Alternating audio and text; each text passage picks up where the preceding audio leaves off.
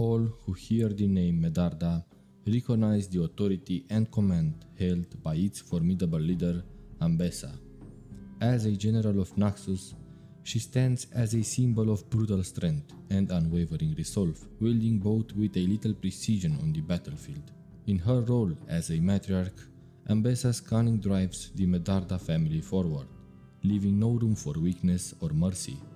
She has fully embraced the relentless ethos of the wolf, prepared to secure her family's legacy at any cost, even if it means sacrificing the warmth of her children's affection. Welcome, Lord lovers, to Liandrug.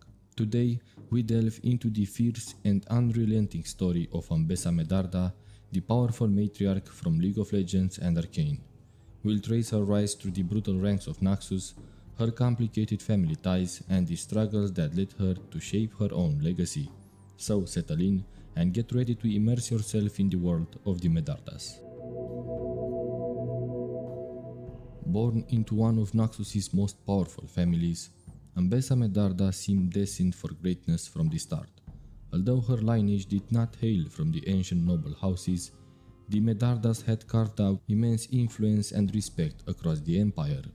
Young Ambessa was introduced to bloodshed early, watching reckoners clash in the arena, each risking their life for a taste of glory. Though too young to wield a blade herself, she absorbed every move, every calculated strike, and felt the pulse of battle even from afar. After the fateful Battle of Hildenard, Ambessa's father sent her to collect the blades of fallen soldiers. Still a child, she moved through the carnage without flinching, her gaze unwavering as it took in the finality of death. By the day's end, she understood death not as a terror to flee from, but as a force to respect. Sacrificed, she learned, was noble. Greatness demanded it. The Medarda Code born from their earliest days as Shuriman coast raiders, celebrated the cleverness of the desert fox and the fierce power of the legendary wolf. It was no surprise when Ambessa chose a soldier's path, carrying forward the lessons of her childhood. With her family's honor as her compass, she demanded decisive action, both from herself and from others. Ambessa became more than just a daughter of the Medardas. She was a warrior, rising to command multiple warbands as a general and one of her grandfather Menelik's beloved proteges. Yet, she was not only a soldier, she was a woman with passions, a lover, a mother. Life offered her many experiences, but none struck her as deeply as the moment she held her son, Kino, for the first time. In that instant, she understood devotion, an unbreakable bond beyond anything she'd felt before but with such love came the risk of disappointment. She adored Kino, yet it was clear he lacked the fire of a warrior spirit. Not long after, Ambessa found herself at the age of death while defending her ancestral home of Rokrund, pregnant with her daughter, Mel. Amid the lifeless bodies of her allies and foes, she lay in the grip of mortal peril, drifting in and out of consciousness. In those hazy moments near death, Visions came to her, visions she would seldom share. Whatever she glimpsed in the shadowed realm stilled her resolve and ambition, fortifying her with an iron will to shape the world so that her children's vulnerabilities could never be used against them. From that moment, Ambessa's ascent was nothing short of meteoric. She fought at the front of every battle, meeting death's gaze without a tremor. With each victory, her courage deepened, her cunning sharpened, and her resolve hardened when her grandfather, the venerable Menelik Medarda, passed without naming an heir, the family erupted into a bitter struggle for succession. Yet, Ambessa knew that the path forward was hers by destiny. With relentless determination, she overcame her rivals, pledging to craft a legacy worthy of the Medarda name and the inheritance her children would one day claim. As the new matriarch, Ambessa began to voice her personal creed with greater fervor. In all things, be the wolf. Weakness and dissent would find no shelter in her presence. Such vulnerabilities would never be allowed to take root. With that same resolve, she sent her daughter, Mel, to the distant city of Piltover. Years passed, and then whispers reached Ambessa's ears. Rumors of an extraordinary invention known as Hextech, created by the idealists of Piltover, Intrigued by the power this discovery might hold, Ambessa journeyed to the gleaming city to visit her daughter, seeking to understand if Hextech could serve as a new weapon to elevate the Medarda's family power further still.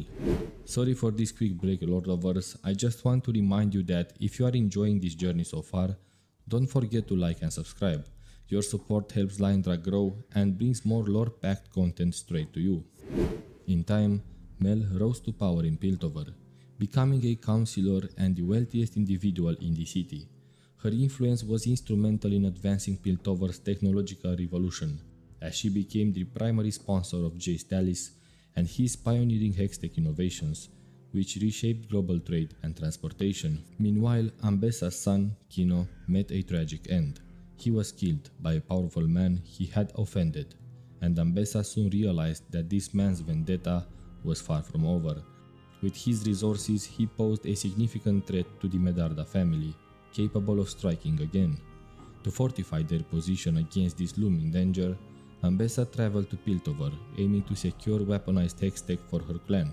Hearing of the rising tensions between Piltover and Zaun, Ambessa sought to convince Mel and Jace to take action, hoping they would engage in war with the Undercity using Jace's Hextech weaponry.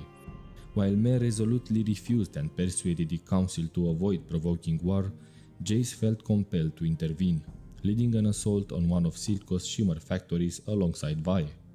This raid took a tragic turn when Jace accidentally killed a young boy, leading him to abandon the idea of war entirely. Mel confronted her mother over her manipulation of Jace, and Ambessa finally disclosed the reason behind her desperation an impending conflict with Kino's killer in Noxus. She urged Mel to let the war unfold, promising that once it was over, Mel could return home and stand by her side. In response, Mel rejected her mother's offer, removing her family ring and supporting Jace's proposal for peace with Zaun, which included granting the Undercity its independence. For Ambessa, nothing is more precious than her family. Let's talk about her relations and we will start with her daughter. Mel Medarda faced exile from the Medarda clan after Ambessa judged her as harboring a weakness unbefitting of their lineage. For years, many believed this weakness alone was the reason for her exile. Later, however, Ambessa revealed a deeper motive. She feared that Mel's influence might soften her own ruthless resolve, weakening her in a way that could not be tolerated. This self-imposed armor was essential, not only for Ambessa but for the entire Medarda family. Even after Mel's exile, Ambessa held her to these unyielding standards, dismissing Mel's emotional displays as undisciplined and claiming she had taught her better than to let her feelings override control. Despite this harsh exterior, Ambessa felt a lingering fondness for Mel, carrying a desire to reunite her with the Medarda clan after Kino's death. Ambessa viewed Kino's diplomatic approach to politics with a certain skepticism, deeming it insufficient but not entirely misguided. Unlike Mel, Kino was never exiled, suggesting Ambessa saw some value, however incomplete, in his ideology. When Ambessa delivered the news of Kino's death to Mel, she expressed her regret, believing her distractions had cost her the chance to save him. Upon her arrival in Piltover, Ambessa addressed Elora by name, indicating at least a passing acquaintance, though the true nature of their relationship remains unclear. Ambessa saw in Jace a means to stir conflict between Piltover and Zaun, pushing him toward developing Hextech weaponry. She intended to harness these weapons for the Medarda clan, protecting them from the Noxian who might otherwise seek retribution for Kino's actions. Using Jace as a pawn, Ambessa succeeded in inciting him to act against Zaun impulsively. When Mel confronted her about this manipulation, Ambessa was indifferent, viewing Jace solely as a tool to serve her ends. Ambessa held the Council of Piltover in low regard, believing they lacked the decisiveness to confront the looming Zaunite threat, allowing it to grow unchecked. She warned Jace that without proactive preparations for war, the Council would risk leaving themselves vulnerable to Zaun's advances. Thank you for joining me on this deep dive into the life of Ambessa Medarda. If you enjoyed this story, make sure to like, share and subscribe and don't forget to join our Discord. Let's build a cozy community of lore lovers where we can chat, share theories, and explore the depths of our favorite worlds together. Until next time, lore lovers, keep these stories alive.